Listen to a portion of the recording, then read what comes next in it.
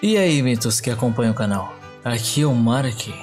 Hoje vamos ver a história de Alípio Martins, como surgiu, sua origem e caminho rumo ao sucesso e seu fim. Bora, let's go!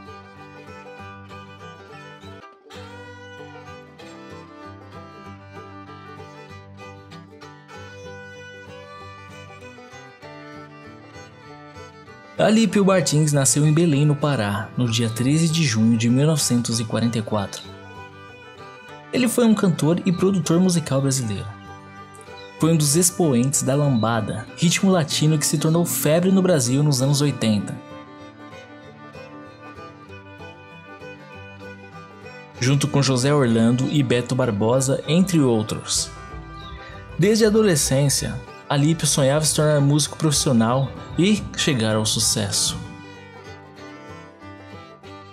Nos seus 15 anos de idade, fugiu de casa, sem dinheiro e viajou de navio como passageiro clandestino até o Rio de Janeiro, em uma viagem de quase 30 dias. Nessa viagem, foi descoberto pelo cozinheiro do navio, porém conseguiu chegar a um acordo com a tripulação ao confessar qual era o seu sonho, a sua busca. Alípio acreditava ser melhor produtor musical do que cantor. Vários artistas que gravaram com Alípio recordam-se das histórias e das técnicas utilizadas por ele durante né, as gravações.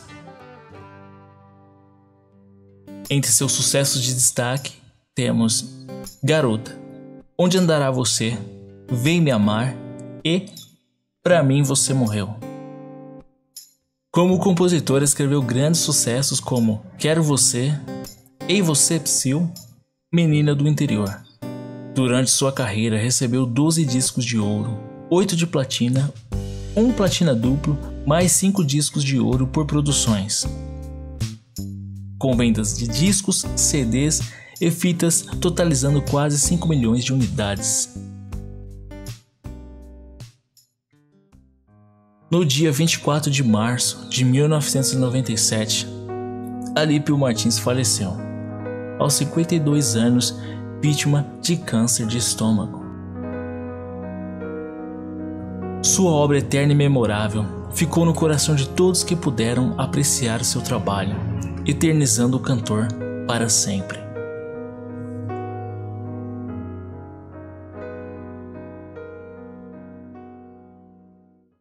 Então é isso aí, pessoal mito. Espero que tenham gostado da história e curiosidade de hoje.